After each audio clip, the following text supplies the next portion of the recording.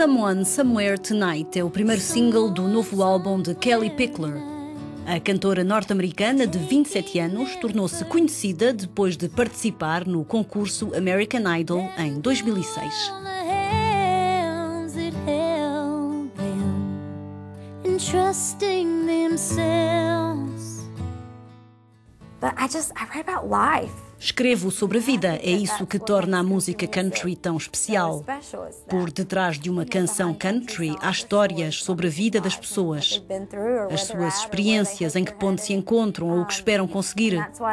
É por isso que as pessoas gostam de música country, porque celebra os bons momentos e é um reconforto nos maus momentos. É uma amiga fiel, sempre ao nosso lado.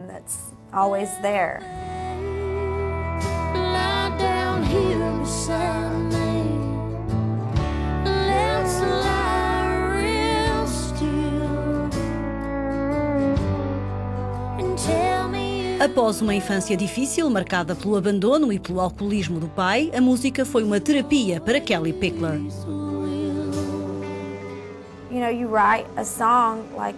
Quando escrevo uma canção é como escrever no meu diário. Escrevo sobre os meus pensamentos e sentimentos mais íntimos transponho a alma para o papel. É fácil transformar as páginas de um diário numa canção. A letra de uma canção representa o que sentimos.